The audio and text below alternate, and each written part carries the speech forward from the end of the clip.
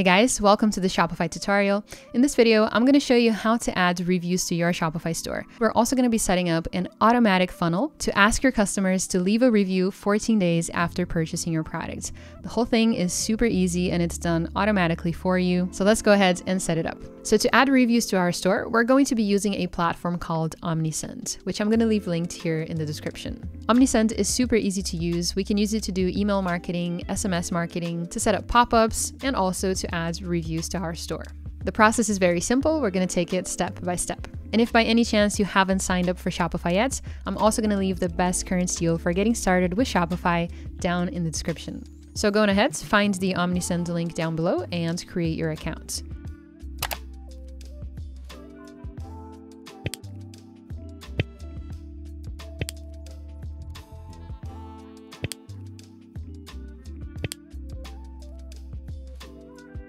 Once you're inside, we're going to click over here on reviews. And then we're going to click on get started. Now just make sure that you are logged into your Shopify store in another tab because we're going to be going back and forth here. So we're going to click on open Shopify settings. And that's going to take us straight into the theme editor. So as you can see here, super simple, Omnisend reviews has automatically been added to our product page.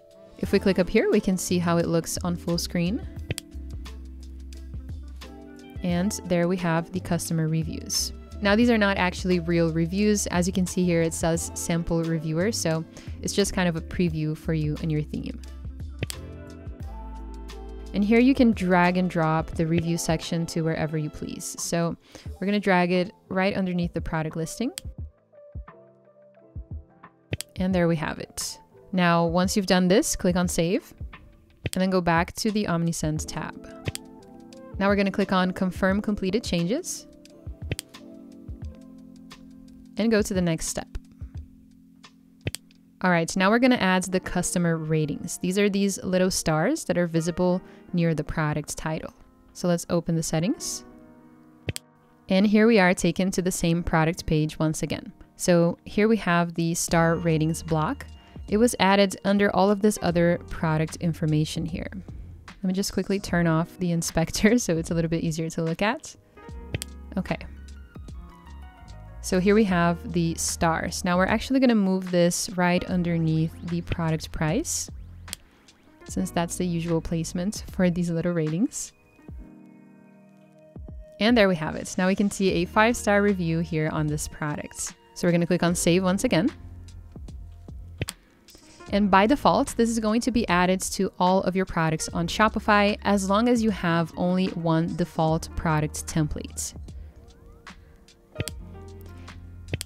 So as you can see here, I have one default product template that's been assigned to 27 of my products.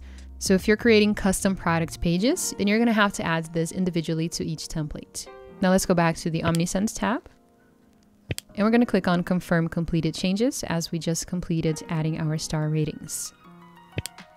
All right, so now we're going to click on the next step. Now the cool thing about Omnisend is that it's not just a review app, so they actually also have built-in email automation systems in their software which means that within the same platform, they will automatically create an automation for us that's going to ask your customer to leave a review 14 days after their purchase and thank them for their review. So this is basically a workflow inside Omnisend that's very similar to their other email marketing workflows. If you haven't set up any email marketing workflows with Omnisend yet, then make sure to watch this other video that's going to be linked in the description. In that video, I teach you how to design pop-ups with Omnisend and how to create different email automations that you can use to increase your sales. All right, now we're going to click on finish. And your reviews will appear over here. So if we go back to our store, here you're going to see the review section that's been added by Omnisend. So if we click on leave a review, here they can put their star ratings and write what they think. Now they can also add photos if they want to, but it's optional. And the review has been submitted. Now you can actually customize all of this inside Omnisend if you want to. So if we go back to Omnisend, we refresh the page. Here you're going to see the new review that has just been entered. Now, as you can see, it's still unpublished, so it's not visible in the store just yet. So if you want to make this visible, you can just click on publish.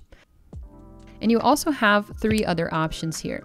You can choose to add a verified badge, to reply or to delete. If you add a verified badge, you're basically telling your customers that this review came from somebody who truly purchased this product and it's a verified review. If somebody has questions or concerns about your product, it's really advisable that you reply to that. And if it's just spam or, you know, horrible hate, you can delete it if you want to. For now, we're going to publish it and go back to the store. And there you're going to see the first review. Now let's go back to Omnisend. And here, if we click on settings, here we have email reviews and we have store reviews. So store reviews are entered through our online store and email reviews are the ones that are coming from this email automation workflow. So just a reminder, when we installed Omnisend into our Shopify store, we also automatically created a workflow that asks a customer to leave a review 14 days after purchasing your product. So whatever reviews come from that workflow are under this category of email reviews. So here, as you can see, it's set to publish automatically, but you can also change it to publish manually if you prefer to look over them first. And if you want to publish them automatically, they also give you the option to filter which ones are going to be published automatically.